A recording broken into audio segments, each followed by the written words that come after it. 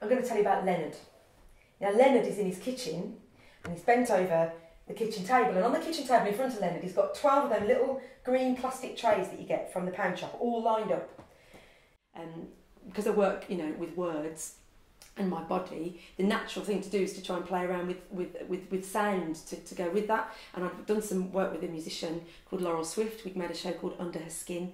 Um, and I was really excited about where the music that she played on double bass and fiddle could take the story and take me. Um, so I thought, well, I'd quite like to go deeper into that, but in a different way. So that's when I lighted on the idea of using a loop pedal and creating sounds live uh, and, and mashing those up with pre-recorded sounds and to see where we'd go. Uh, and John Wright, the director that I work with, thought this was a really interesting idea. Now, you might wonder why Leonard's doing this. It's because Muhammad Ali doesn't like seeds.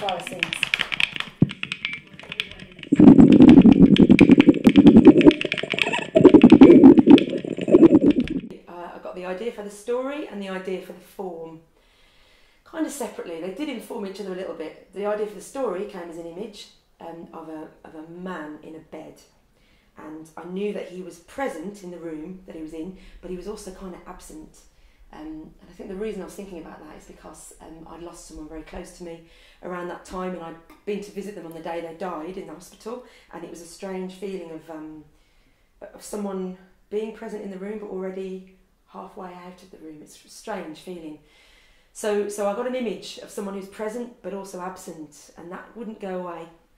And eventually that turned into a man who was in a very deep coma, and that offered all sorts of exciting possibilities for my imagination. And when Leonard is absolutely sure that he's got all the sunflower seeds out of the white tray, he puts all of the trays into an old milk crate, he hefts it, he walks upstairs, and when he gets to the landing, they can hear him coming.